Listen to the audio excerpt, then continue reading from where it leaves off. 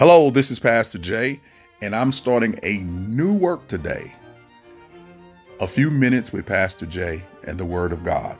And we're going to really take our time and just chew on this magnificent word. Don't you know that any part of the word that you get that you can commit to memory or put in your heart is powerful? It's so powerful that even the devil knows that he wants to remove that word from your heart and your mind. So let's just take a little time and just talk about this together. And please subscribe, like, and share. So let's let's go ahead. I'm gonna start at the chapter two of Colossians. And I'm gonna start in verse two actually. And it says that their hearts may be encouraged. I'm gonna change that a little bit. I'm gonna say, excuse me, that our hearts may be encouraged. Don't you know that every saint needs his heart encouraged? He needs to be lifted up. He needs to be renewed, restored, give confidence to. So Paul is trying to say he wants, he's praying, he's he's requesting and pleading with them after the last couple of verses in chapter 1 where he says we plead and warn every man but I want your hearts to be encouraged. And how is it encouraged and why is it encouraged? Because the next line is because he wants it to be encouraged because it is knitted together in love. Being knit together in love. So the heart of God is in every saint and it's being knit together by his love and the love the other saints show each other in their day-to-day walk. And this love that we talk about when we talk about love, it's not an emotional love, it's a sacrificial love. The love that Paul is talking about is the love that Christ showed us on the cross. That love that paid and atoned for our sins.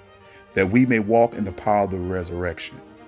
That we may go forward in faith where the word of God becomes a lamp unto our feet and a light unto our path. And as we see, it's supposed to encourage our hearts because all of this is knit together by his love.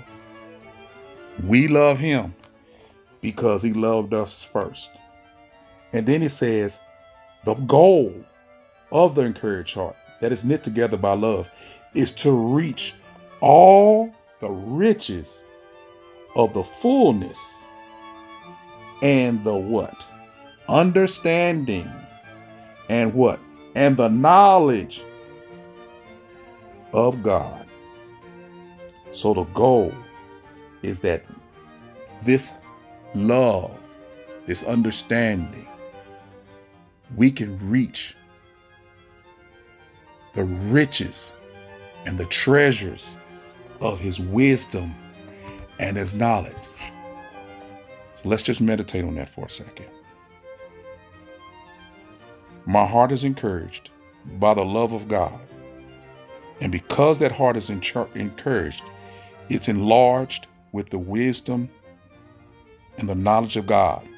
This is something that is attainable, that can be reached only through those who know how to love sacrificially. Then that lines up with Philippians when it says, considering others more significant than yourself. Like I always tell the saints of God, it's about you, but even the more, it's about the person sitting next to you and how much of what God has given you are you willing to give away to them. And I'm not talking about material things, I'm talking about spiritual things because these are spiritually discerned precepts that we're going through. So we got the encouraged heart, we got the heart knitted in love, for the purpose of reaching, being able to reach the knowledge and the wisdom of God. So as we treat people, as we learn of God and how we should treat people, looking at them not according to the flesh, but according to the spirit, a soul being saved, or a soul in this case that needs to be encouraged by the love that Christ has shown us, then at that point, we are reaching for all the wisdom and the knowledge of God that's in Christ Jesus. Isn't that awesome That's part of the mystery. Christ in you, the hope of glory.